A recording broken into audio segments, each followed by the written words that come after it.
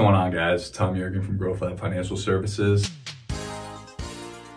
Just wanted to talk to you guys today about three things to consider when setting up payroll taxes in a new state. On our team, I tend to do a lot of the registrations for uh, companies when they add new employees in different states. It can be a hassle and it's good to kind of get ahead of it and sort of figure out what you're going to be doing before you actually do it because you never know. You could have a couple roadblocks, especially with certain states. Uh, you have to go through a finite process where you may have to register for one specific account number before you can get another account number.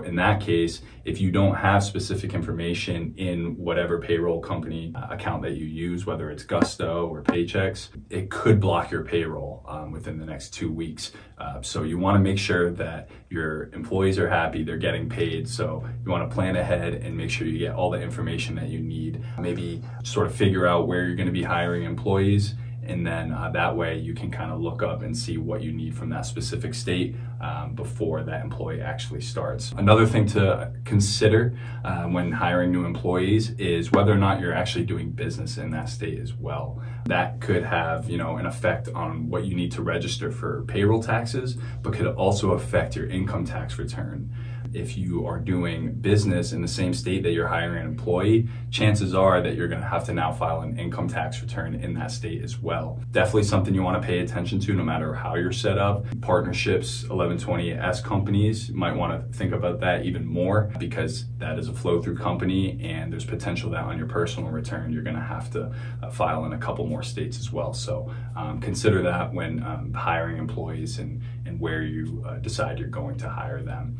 Another thing, more like planning ahead, is the first quarterly report due for the state once you hire that employee. Um, you want to keep an eye out on that because you can start and run payroll for employees before you get all of your tax information but you're going to want to make sure that you have those tax account numbers and all that tax information before the date where say a 941 is filed or a state payroll quarterly report is filed because they're going to have to use those account numbers and use your registrations in order to complete uh, those returns and get them done on time. If you don't get them done on time and they're overdue chances are the payroll provider may not handle that for you anymore or could cause a hassle um, you'll have to go back and sort of file those returns in arrears so if you think ahead and you can kind of avoid certain headaches like that when it comes to filing payroll taxes and registering payroll in certain states.